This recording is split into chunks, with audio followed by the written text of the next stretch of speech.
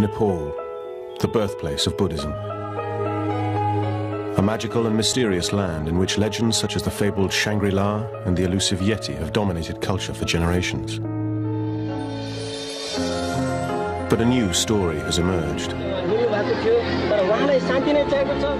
One that is being seen as a modern miracle, something only possible through the spiritual power of Buddhism.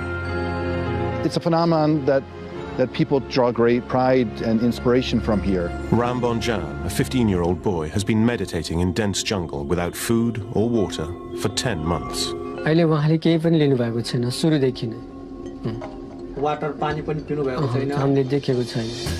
Many suggest he is a physiological and cognitive freak with such immense power of mind over matter that it could change the way we look at modern science and medicine forever. If he's truly gone without food and water, it's difficult to explain on a purely scientific basis, so you would have to bring in spirituality in here. As millions of pilgrims flock to the site, we'll explore the truth. To see that in the middle of Nepal, in the middle of all the crowds around, that's very, very special and very questioning, of course. Is he the second coming, Buddha reincarnate? Or is this something far more sinister? An elaborate hoax in which a young boy is being starved to death before our very eyes for profit.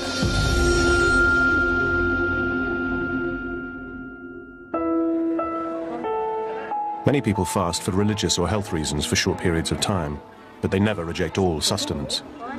The longest a person can go without food has been documented as being around two and a half months before you die of starvation. In an open environment, uh, breathing normally with, with warm air surrounding you without any fluid at all, you would last between four, perhaps five days. Ram Bomjon has not eaten and, more importantly, not drunk anything for 10 months. By filming him continuously over the next four days, we will investigate this phenomenon and discover whether a human being can live without food and water. It would be impossible to, to meditate for that long without food and water. I studied similar cases in past and this is possible. Through his deep meditation, he's gone into a hibernating state and he is living on spiritual energy. I can't accept that. Um, it goes against what I know about how the body works, about the nutrition that you need. He's getting food and he's getting fluid from somewhere. Ram has never been scientifically tested. He sits undisturbed as millions watch his every move. If he did the same thing in Birmingham or in Baltimore, you know, I'm not sure that the society would, would perceive him in the same way. Why isn't he in school? Why doesn't he get a job? He should be doing something. Nepal is a country relatively untouched by the global market, where 90% are devout Hindus and 10% Buddhist. I think it's a great story uh, for Nepal. I mean, I think it comes to the right time. Uh, Nepal is in a state of political turmoil.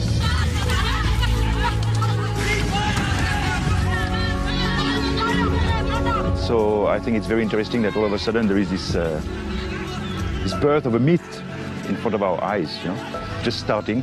Nepal faces a stark, desolate reality without its religious beliefs. I don't know if, if the story of Ram Bahadur Bomjon appeals to a certain consciousness now, looking for some saint, some, you know, some figure, someone who can perform miracles at a time when life seems so tawdry and broken and uncertain. As science progresses, it's pushing God further and further out. And where science hasn't yet encroached, you will find God. Ram began meditating in May 2005. By November, the remarkable story hits the press worldwide. Newspapers claim fake. Government officials say that the boy's local supporters have received around £4,000 in donations. Up until now, no film crew has been allowed up close. We will attempt to be the first to obtain proof of the claims of the Buddha boy. With fierce loyalty, his followers hide him at certain times of the day. This has drawn suspicion, but who are these followers, and what are their motives? What has happened is that because of the people who've started coming in, it's, it's turned into kind of a circus.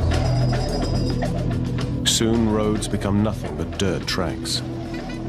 After traveling more than 12 hours from Kathmandu, the last 40 kilometers through dense jungle, suddenly a gate manned by sentries bars the way any further and we're diverted to a bustling temporary city of hawkers, fast food sellers, and a bus park in the middle of nowhere. Previously, we used to farm only, but now there are jobs available. There is good income. Amazingly, 10 months ago, there was nothing here but jungle. The city has been expanding at an astonishing rate ever since the boy began his meditation. There is a kind of economic desperation which perhaps uh, a phenomenon like this would attract people. I used to run a restaurant in the city, but this one makes much more money. After walking five kilometers from the temporary city with the throngs of devotees, we're confronted by crowds 20 deep and the boy surrounded by a series of barbed wire fences. We have to fight our way through just to get a glimpse from the 50 meter fence.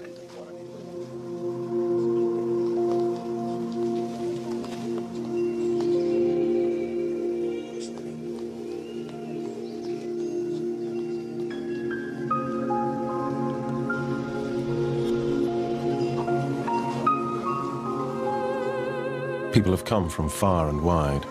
Many have walked for days. Some give offerings, others pray, or give donations. We need to get closer than the fence is allowing us, and soon realize that Ram's eldest brother is running the site. Granjit Bomjon leads the committee, an 18-strong self-appointed group set up to protect the boy's welfare, and it will be his decision if we are allowed to film. Today I'm busy. Maybe tomorrow is a good day. Finally, he lets us film inside the 50-meter boundary.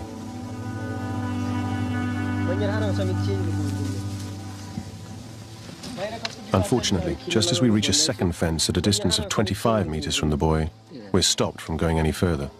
So it is here we start recording. By the end of our first day, Ram has not moved a muscle since we began filming eight hours previously.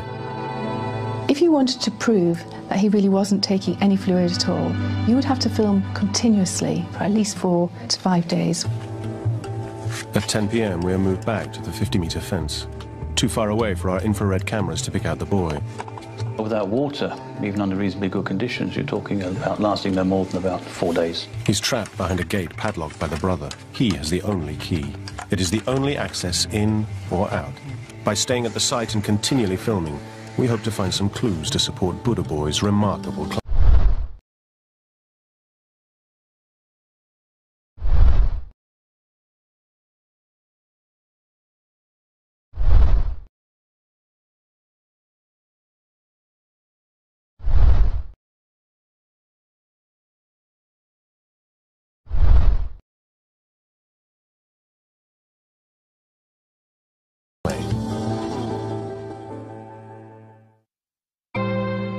Nepal, Ram Bomjon, a 15-year-old boy, has been meditating in the hollow of a tree for 10 months. He plans to continue for six years. I do know of a case of a medical student who did survive without food for something like 43 days, but he was able to survive on snow. So far, his supporters claim he has not eaten or drunk anything. I get the feeling this is going to be slightly different than some of the other Hindu scams that have happened. Some of these are not genuine holy men. They have long beards and then they smear themselves in ashes and then they would be in cahoots with the local villagers. This one, I think, will carry on a bit. We're into our second day, 27 hours into filming. Still not enough to prove if this is a miracle or a scam. To find out the truth, we're staying on site day and night to film continuously for another 69 hours, as this is the time it takes for an average human being to die without any water. Like 70% of the body is water. Without it, it would affect every physical functioning of the body. By day two, you start to cannibalize the stores of protein that you have. I would say from day two, your skin is going to get rough, cracks appearing at the corner of the lips, and the skin will lose its color and the brightness and the elasticity. So far, we have not seen any of these physical changes in the boy's appearance. He is surviving on nourishment. The question is, what kind of nourishment? We can't, as Westerners, tap into using spiritual force and spiritual energy for nourishment. That's the key here.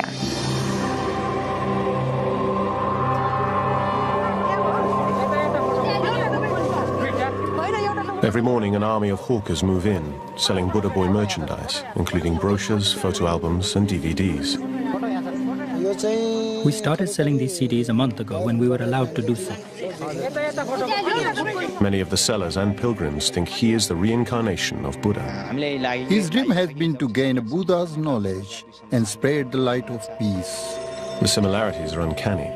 Siddhartha, the Buddha, was born a mere 150 miles away, to a mother with the same name, Maya Devi. Both chose to meditate for six years under the same type of tree and follow a life of abstinence. Buddha eventually found enlightenment through meditation, and that is what Ram is trying to achieve. You can see a light coming from the top of his head and sometimes from his forehead. Many of the stories that are circulating the site are probably just gossip, but they all feed the myth and the growing aura of the boy. One story that started the legend was that poisonous snakes bit him on two separate occasions. I saw him after the snake bite, and he looked very pale. Cobras and vipers are common to the area, and their bite is fatal. Incredibly, Ram required no medical attention from the bites. Because of his meditation, he flew, I mean, the, the poison. I heard about it. Some saw the blood, but no one saw the snake. He was sweating there, and with the sweating, his poison was gone. The boy himself does seem to have uh, some spiritual powers. If we were bitten by a snake, we were already gone. Just because of his med pure meditation, he's alive. You know, you could question if you're uh, if you don't believe in these things, but the people seem to, his family seems to have faith in it. So we have to sort of recognize that. True or not, it is apparent that Ram Bomjon is putting himself in danger, not only by refusing sustenance, but also by sitting exposed to the elements and wildlife. This fatalistic attitude to death is very common in Asia. So at this time, you know, he lacks calories, he lacks proteins, he lacks vitamins, and he lacks water. So he would be susceptible to illnesses. He's got no ability to maintain an immune response or to support an immune response, and it does increase his risk of dying from an acute infection. This lack of fear in dying is reflected in the way Nepalese conduct their funeral rituals. In the West, they're private, sad affairs. But there's openness here, an acceptance that sees death as a part of the cycle of life. Many put their bodies through extremes, as they think it's their mission in life. There are many stories about these rishi munis and uh, these great sages in the past. Some of them uh, could live without food and water for many years, not many months. In modern literature, Giribala, the non-eating saint, survived without food and water for 66 years, the longest time on record. Today there are many that claim extreme fasting, from Pilot Baba, who survived underwater for five days without breathing, to Yog Mata, who buried herself alive for 72 hours. Even in Buddhist philosophy, there are people like that. Five hours into the second day of watching Ram, detained at the 25-meter fence, a chance arises to try and find some answers to this extreme fasting phenomenon. Lama Lekshe, Grand Master from India, runs several monasteries around the world. It was at one of these that Ram was taught meditation. The Lama has come to check on his pupil and allows us to follow him into the inner sanctum. The boy uh, belongs to uh, Kiku Buddhist monastery, which is in India, in Himachal Pradesh. And that monastery belongs to the Sakya tradition of Tibetan Buddhism. Very little is known of Sakya, one of the four Buddhist traditions. Its leaders keep their teachings a closely guarded secret. Buddha's teaching or our practice is not for your fame, not for your reputation, not to collect so many disciples. We usually don't expose much.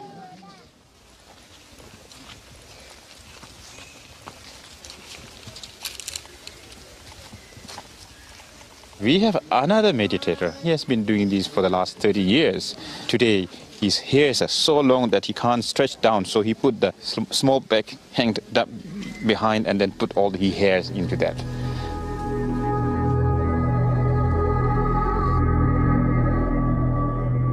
To endure solitary existence in extreme conditions, yogic techniques enable you to focus your mind over your body's suffering. Obviously, if he's genuine, uh, has to use some yogic techniques like feeding on the air, feeding on the breath. Uh, there are other techniques where you use a stone, okay, a little stone that you put in your mouth and you feed on the stone. There are all those stories. They are documented in the literature, in Buddhist literature. To understand what type of yogic technique Ram is practicing from the Sakya tradition of teaching, the Lama sits and stares at the boy. I'm amazed by this, uh, by this immense, uh, it, the intensity of his determination.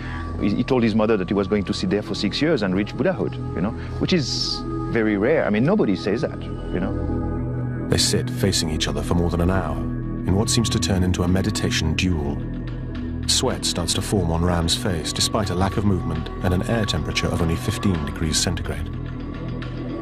To suddenly start pouring sweat from the face is a very strange phenomenon. He's managing to control his body's physiological process, which no one has demonstrated before. It's not something you ever see in Western society. Um, so how that's been controlled is, is beyond my level of knowledge.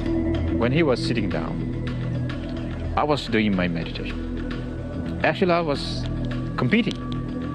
And you know that the sweat came down. Okay, so why, why did you sweat? Ah, no, it's a secret thing I don't want to tell you right now. In ancient Buddhist texts, it is written there is a yogic technique called tumo, which increases the body's temperature under intensive meditation. Sweating is a side effect. Question is a young boy like that, you know, how he has mastered this kind of techniques. Obviously, he has not practiced long time in caves or in solitude or in a monastery, so it's very rare, especially nowadays, to hear that somebody is doing it in front of everybody like that. I mean, totally live.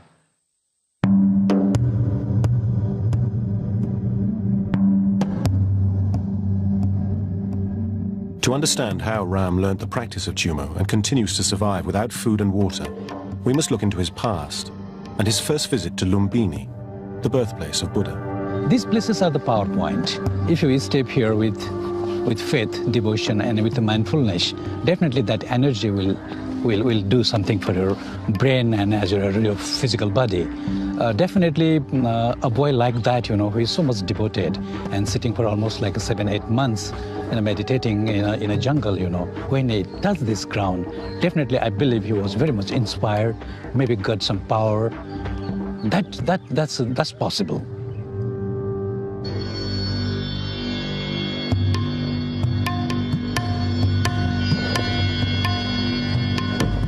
After Lumbini, Ram chose to study at a secret Tibetan monastery near Dehradun, India, 10,000 feet up in the Himalayan mountains and cut off from civilization. There are many examples of monks practicing Tumo intensive meditation in the hills nearby. Ram sort of uh, gravitate toward this monastery, and at that moment, I think it was 2002, I think, or 2003, that he came. It's sort of like his own recognition. And but he's too different. He's too different. Why is he too different? There's a, so it's something to like different to the other monks. Tumo is a particular form of Tibetan meditation where the exponents are capable of withstanding extremely harsh conditions with very little food, very little water, and very little clothing. Some lamas are doing meditation in the icy Himalaya. Uh, from their body, they bring the heat. So, same way, maybe he has done that. American scientists tested the theory in 1982. Monks were soaked in sheets of cold water. 45 minutes later, steam began rising through the cloth. Some of the studies that I've been doing have shown that even novices using Tibetan chanting can increase their tolerance to cold pressor pain by uh, 100% or more. But imagine he can do this for hours and hours on days ends. Extremely special skill. But he learned to extra also. Extra? Yeah. So he did extra hours in this classroom? Or? Not classroom, in, in his room, like homework. He's doing what they call is an absorption kind of meditation. You train your mind to switch off. The idea of meditation is to concentrate on your mind, to observe your mind in perfect equanimity. Even though I'm sure he's aware of what's going on, at the same time, he, doesn't, he keeps his concentration on his meditation. That's why he's so strong. That's why he's so impressive. So I truly believe he's a Buddha from the past life. and coming to this lifetime at a young age. Well, you know, research has confirmed, you know, that uh, with the meditation, you lower your heart rate, you lower your cardiac output, and you also slow down breathing. So you really lower your metabolism to a level that uh, uh, much less uh, food uh, can really sustain you. But starving for seven to eight months, you know, that has not really been looked at. Especially scientists people think that if you don't drink and eat, it's something. It's not for the Buddhists. It's not nothing to surprise. Buddhists always think that you can change anything if you can control your mind. On returning from the monastery in India, Ram spent an unhappy five months at home before leaving to meditate in the jungle. His meditation was disturbed many times before fences were set up to protect him. Suddenly, our filming is cut short again as the brother catches us within the inner fence. He fears we got too close His followers escort us from the area.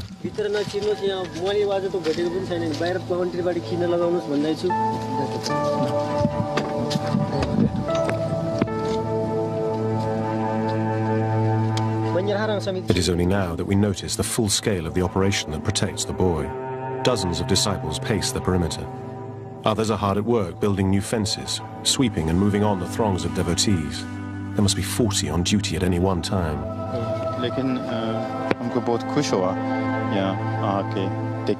Ram's brother has created a fortress around the boy.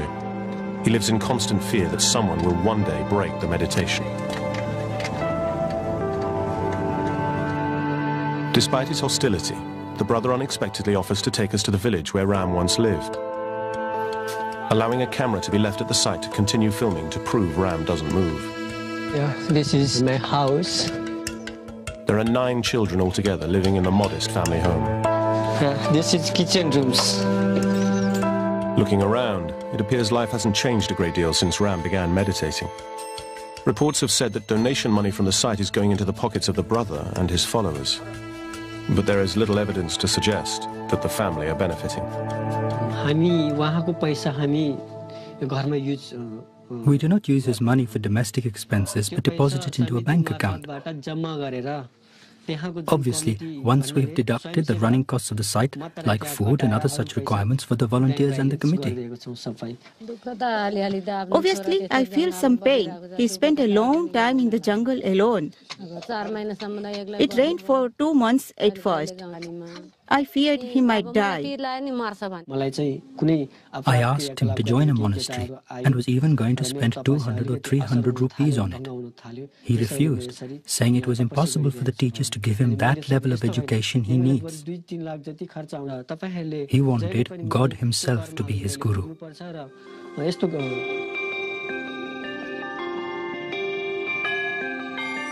Just 10 months ago, Granjajit Bomjon was a farmer working the land in the village like generations before him. Now he has a big responsibility.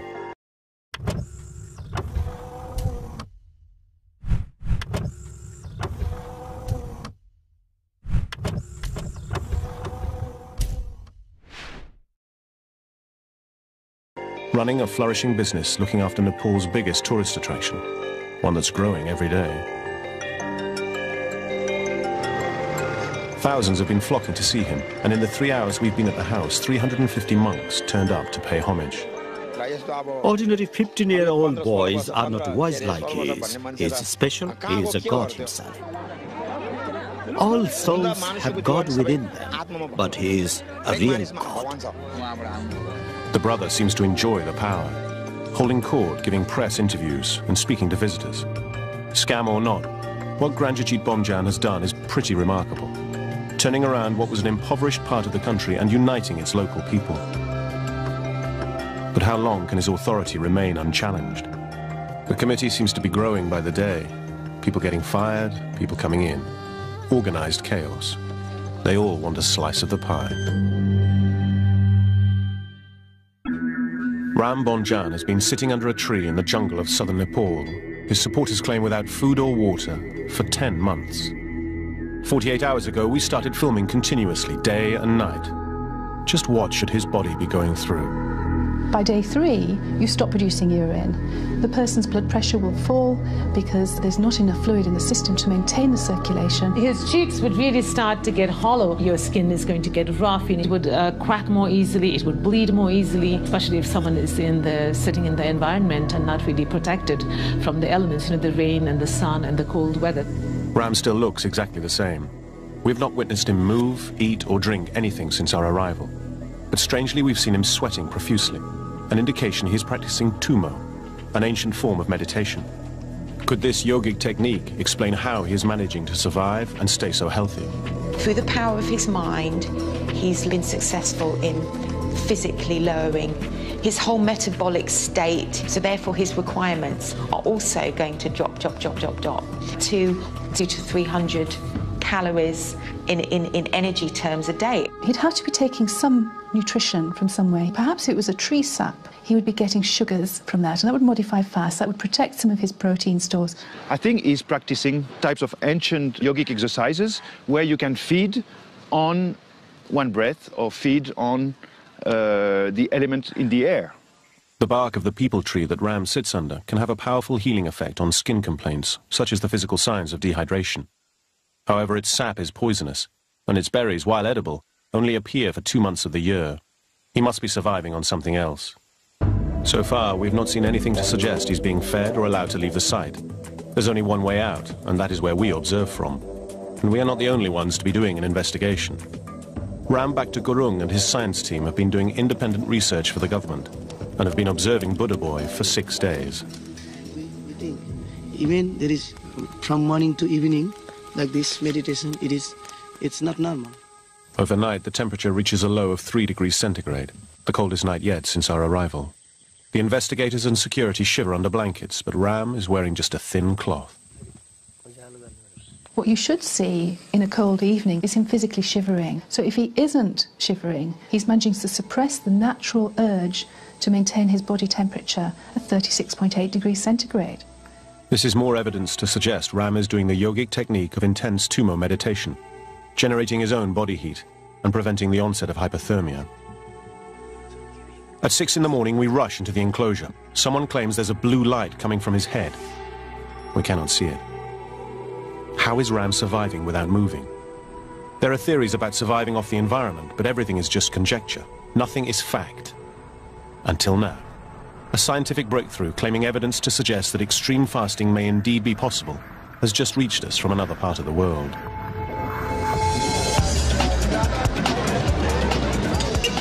A doctor in Ahmedabad, India, has contacted us after witnessing the boy on television. He says that his team have made a discovery that could finally solve so many questions. I was really fascinated to see the boy who is fasting for six to eight months, and that is uh, not at all really uh, so exciting to me because I studied similar cases in past, and I can understand this is possible. Dr. Shah's most famous case is Prahlad Jani, a holy man who claims he has not eaten or drunk anything since he was 12. I haven't eaten anything, not even now, even though I'm 80 years old. That made me really quite excited because I, I knew that this is something uh, going to change the feeling of medical world. Although I walk 100, 200 kilometers in the jungle, I never sweat, nor feel tired or sleepy. I can meditate for 3, 8 or 12 hours or even months. Prahlad Jani recently spent 10 days in observation, watched and filmed 24 hours a day. Minute to minute, second to second. And he was kept in a cabin which was sealed from outside. The bathroom was sealed. Uh, one of my assistants would remain with him all throughout 24 hours in changing duty. Doctors would come throughout the day, different time which was not be told to him. And we made sure that nothing can go wrong in the sense medical world should know that there was not a single loophole. They took blood samples from me three times a day, morning, afternoon and evening. They checked my kidney, brain and put machines all over my body. They were trying to find out which factors made my body work. They put machines inside my body also. He was not given any food or water, and even when he was allowed to take a bath, the quantity of water was measured before and after to make sure nothing was lost. As I said, after 10 days, uh, uh, the parameters were all normals. We studied his uh, hematology, and whatever studies you can think of, we could do it. I will live up to approximately 1,000 to 5,000, maybe even 10,000 years with this kind of body. That there was no food or water given to this man, that he did not pass urine or stool, and even he did not dribble urine. After a few hours, the urine would appear, some fluid would appear in the bladder, and again it would disappear. It is possible to modify fluid intake so you produce a very small amount of urine each day. And if he is covered with a cloth, the chances are he could urinate and it would evaporate from the ground or soak into the ground without anyone noticing. Modern medicine tells us that an average human can only survive for four days without water. While confined, Prahlad Jani incredibly lasted 10 days under observation. Dr. Shah has a theory on how he's managing to survive without food or fluid. He feels the holy man is feeding off the sun. Janaardhan Manek used to do solar gazing. He says that you have to go to a flat ground and barefooted and just look at the sun. It's impossible for us to generate heat or light energy from looking at the sun, almost likening it to photosynthesis, which is the process by which plants generate their energy supply. And this is absolutely impossible for a human being to do. On the first day, you look for five seconds, but without blinking your eyes every few days you increase few seconds and maybe after a month you come to a minute or so. In fact, staring at the sun would damage the retina of the eye. Scientists from America also examined him several times in ophthalmic system and he found nothing abnormal. The sun transmits energy through a hole in the holy man's throat, producing a sticky solid lump that he can redigest. This, he claims, refuels the chakra power points in his body. It is not a miracle, it is supernatural. Could these results provide the answer to how the boy is surviving without food and water? Unfortunately, we cannot take Ram to a lab.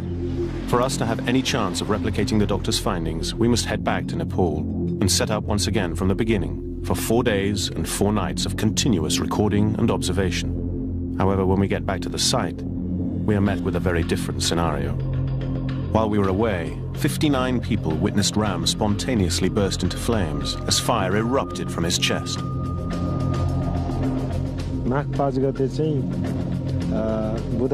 On the 5th of January, Wednesday, around 8 o'clock, we saw fire coming from him. He stood and threw the cloth in front of him and was naked in the middle of a burning fire. And then after some time, in a very soft voice, he called for his brother.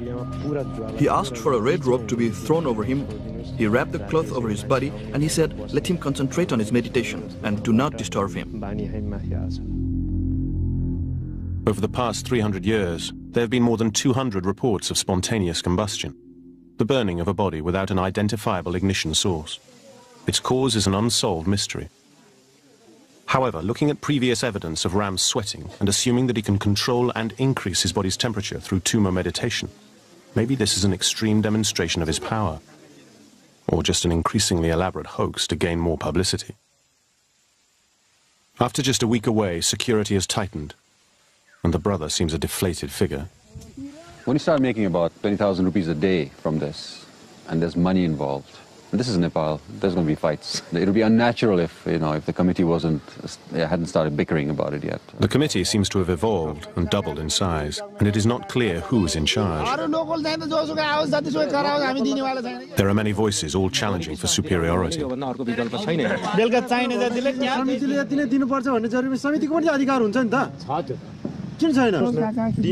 The family probably would, would feel left out of all this and probably feel like um, their son's original purpose has been defeated by all this money making and that is very un-Buddha-like. There seems to be a split within the committee as to whether or not we are to be allowed to continue.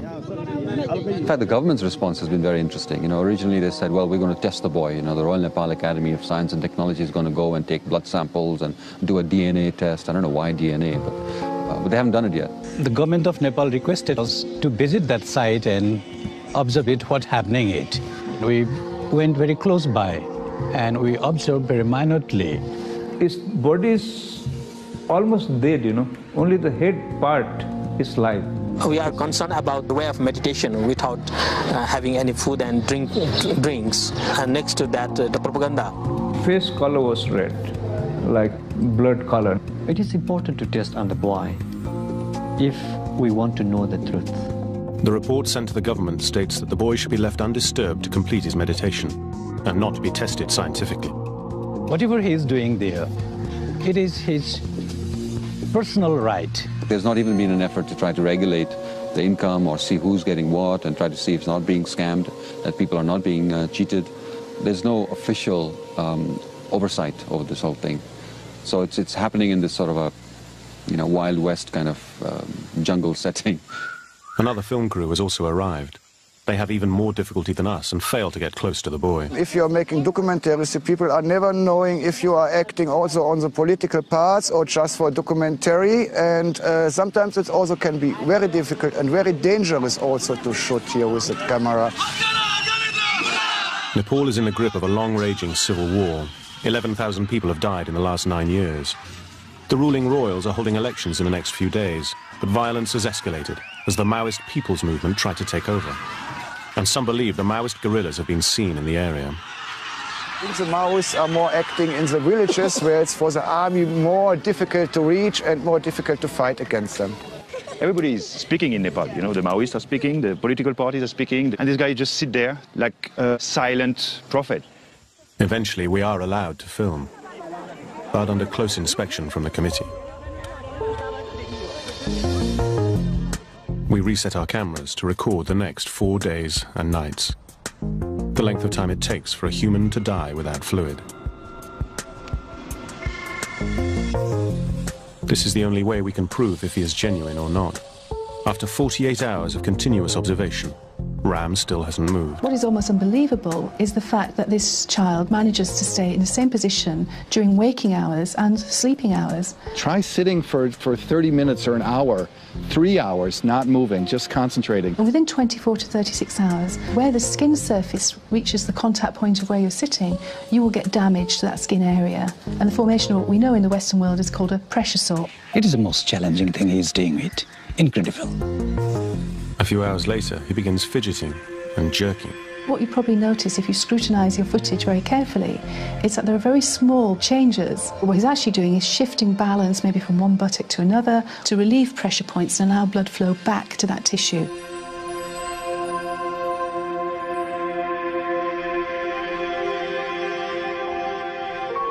As the sun sets, 60 hours into filming, and the committee take a tighter stranglehold, we find ourselves back with the family whose devotion for Ram remains undiminished. There are many that have altered their life to be in his presence. Some have never been home since arriving. Please stay here a couple of days and feel for yourself. It's wonderful.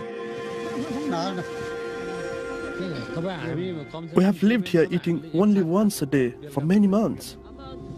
I will stay here till my death. The relaxed environment suddenly changes when word goes through the camp there is a tiger loose in the site. Is it for real? Or are the committee creating more hype around the boy?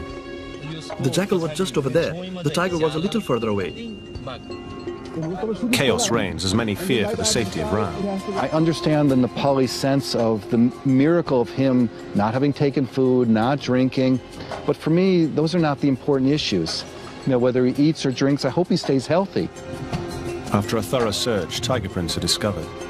We realize how vulnerable the boy really is. We wonder if Ram is the innocent victim in this spectacle. After 58 hours, life continues as normal. Donation boxes are filled, and the crowds start to arrive. Ram appears to show no classic signs of degeneration through fluid loss, but a closer look at our footage might help us understand his physical and mental health. He looks unwell. If you saw this individual sat against a wall in London, you'd be very concerned about how he looks. As life passes him by, Ram just sits calmly meditating. There is a swelling in his neck, but whether that represents a goiter or an underactive thyroid is very difficult to say. Having a severely underactive thyroid would mean that your metabolic rate is incredibly low, which means that you can survive for a very long time without food and fluid. It almost looks like you can see the ribs showing through, and that would represent quite advanced starvation. And you started to waste away the muscles between the lungs, between the rib cages. Probably sat in that position well away from individuals is the safest thing for him in order to prevent an infection that could ultimately kill him. Is Ram now a victim of his own success, being slowly starved to death for profit? Only time will tell. This could turn out to be a very sad story. Where?